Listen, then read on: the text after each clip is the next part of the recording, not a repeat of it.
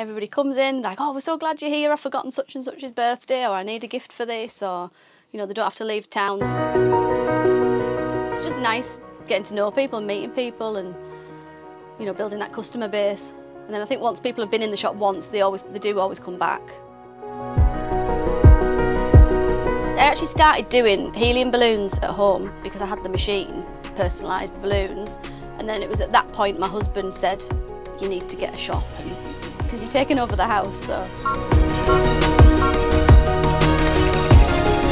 I did textiles at school um, and quite enjoyed it. I did quite well.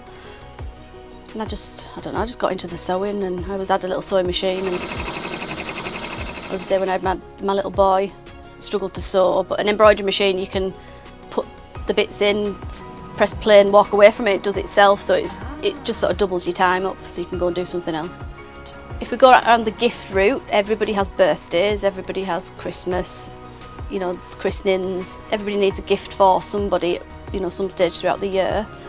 It all started with the baby side and the kids side and then it just got more and more into the home gifts and try and do something for everybody, which is really hard work.